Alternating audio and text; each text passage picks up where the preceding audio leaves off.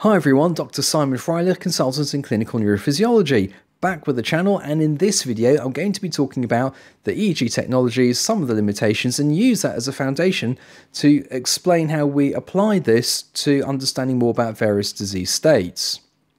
So, clinical neurophysiology is a medical science where we examine nerve function, and for the most part, it's either minimally or entirely non invasive. And the beauty is, is we can examine what's going on in real life people in real time, resolving events occurring even in milliseconds, so really tiny fractions of a second. And we can apply that knowledge to understand various disease states, what's been affected, and how badly. The EEG was first described by Hans Berger, published in 1929, with the uh, first brainwave activity, which he called the alpha uh, wave. And this is what it looks like in real life. I've described that elsewhere, and you can click on the uh, iCard above to see a greater description of this. Now, the alpha rhythm, I'm not going to go into what it actually represents at this point, but effectively it is a marker of healthy neuronal connectivity. So the next steps really is understanding what are we measuring, what are the limitations of that, and what can we do to enhance our perspective, and what are the limitations of those things. So here is a standard um, EEG uh, recording uh, machine. The leads that go on the head uh, plug into an amplifier over here, get processed by the computer, and uh, with every EEG machine, you'll always find a lamp. Now we put the leads on a very specific way. We use a universal 1020 system using various ratios of 10s and 20%, and we basically build up a uh, map of standardized places for the um, electrodes to be placed, and then we can build various montages um, with which we look at the EEG. Now you can get commercial uh, caps uh, which put the leads on in very specific places and this is just you know handy just to show you what it looks like perhaps in real life without people attached to it. Um, but this is what a standard um, set of EEG electrodes would look like in terms of their placement. And this is more of a research type of uh, EEG, 256 lead uh, scenario there from Philips. Um, and of course, this all has to be pre wired up in advance, and you just plug these cassettes in. So, what exactly are the scalp electrodes recording? So, first of all, we are recording through skull and through muscles, and effectively, we're picking up summated electrical activity from huge numbers of neurons, millions and billions of them. So, it actually takes quite a large recording field, around six centimeters squared, just to pick up enough electrical activity to cause deflections that we can pick up on the EEG. And so, whilst our spatial resolution is poor, our temporal resolution, our, our ability to to sample um, in time, is actually very good. Now, that's what the situation is like with standard uh, scalp um, EEG. We can, of course, get closer to the action. These are subdural grids, which can be popped um, on top of the brain at an operation, and you can even use, these sort of depth um, uh, electrodes where you can really get right in and right up close to those neurons. But you're still sampling from millions of neurons, even with doing that. Now, what exactly is being recorded? So, as I've mentioned um, in a different video, we're not actually recording the information of what's going on inside the neurons per se, those action potentials within the pyramidal cells. It's actually these extracellular postsynaptic potentials. Now, these postsynaptic potentials can either be excitatory or inhibitory. It's all very complicated, um, and but effectively, we are not measuring what the brain is actually saying on any particular uh, topic per se. Um, we are literally looking at a dynamic between millions, if not billions, of IPSPs and EPSPs, inhibitory and excitatory postsynaptic potentials. So I'd like to think about the um, brain and, and, and brain activity very much in terms of seismology. So that's the science of detecting earthquakes. And back in the day, in, um, in terms of EEG, we used to use analog systems, which are actually really no different to this, um, but with many more um, of these uh, little pins, which would be deflected by the um, summated electrical activity arising from the brain.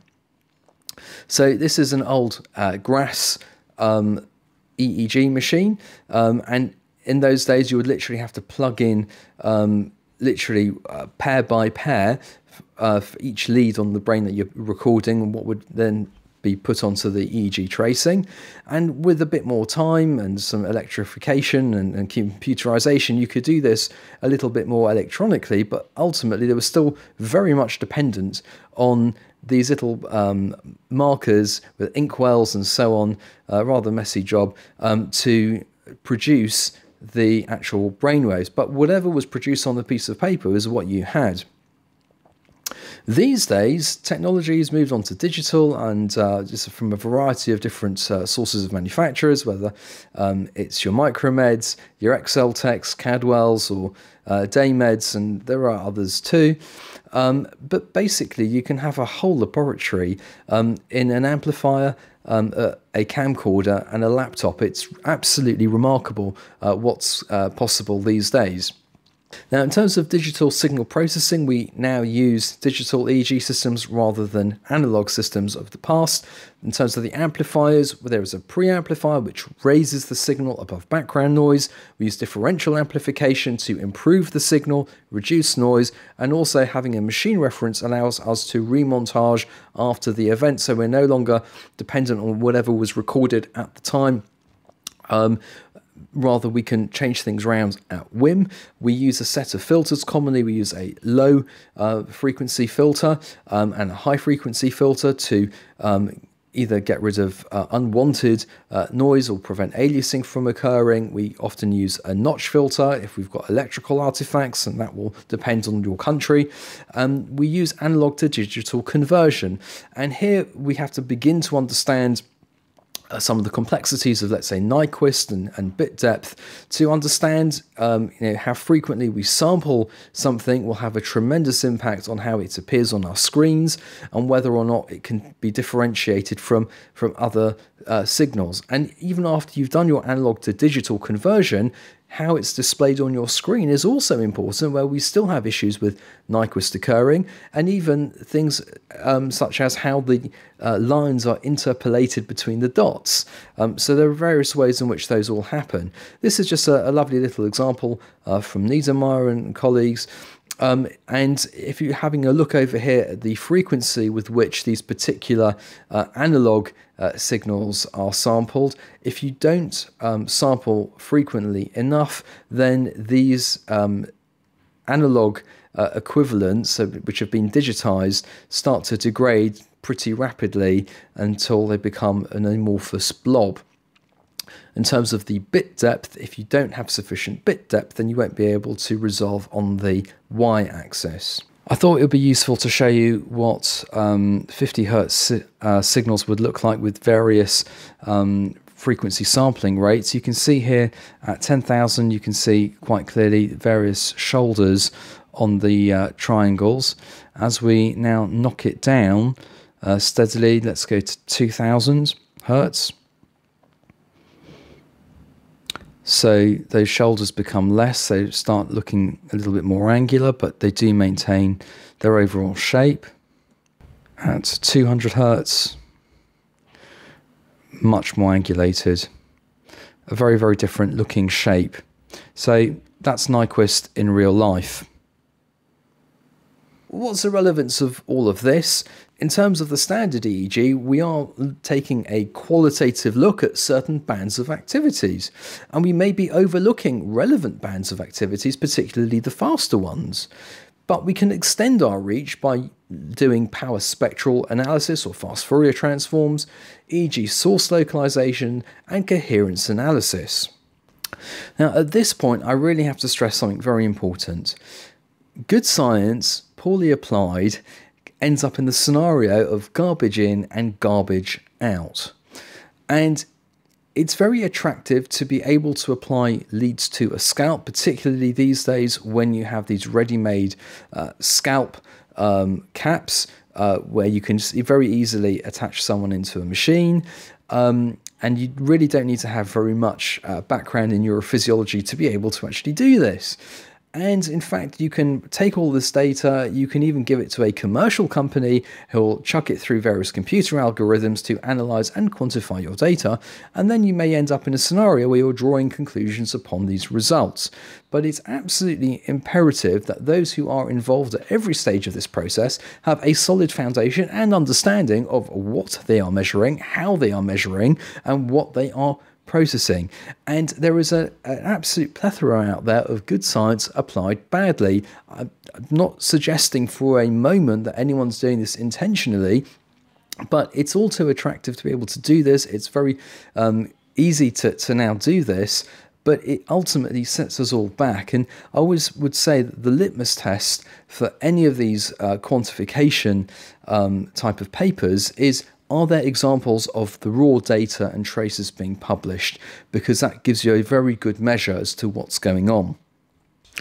Let's talk about power spectral analysis and fast Fourier transform. So here you're trying to quantify the amounts of specific frequencies that are occurring in your traces.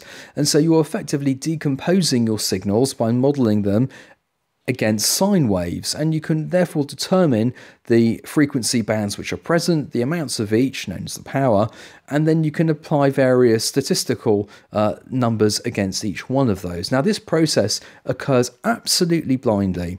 So, if there are eye movements, blinks, uh, tense muscles, uh, sweat, all of these things show up in your power spectral analysis, and so it's absolutely imperative that artifacts are minimized. But you often end up having to take multiple small segments, even in a well constructed study. And so ironically, even though you can very uh, easily quantify uh, what's there, you are effectively losing dynamic network information by taking disparate segments and putting them together. Source localization is incredibly fascinating, and you're trying to model where in the brain the signals are arising from. Now, there are a variety of different models that are used as part of the mathematical solution to this, and you can look at various amplitude changes and frequencies and so on. But each one of these models have their own assumptions and their own limitations, including individual shapes of a head and brain. And fundamentally, almost all of them have got an issue called the inverse problem, which is even if you can determine a mathematical solution as to where the activity is arising from, it doesn't necessarily mean that if you go backwards, that you will return to the same EEG signal that you started with.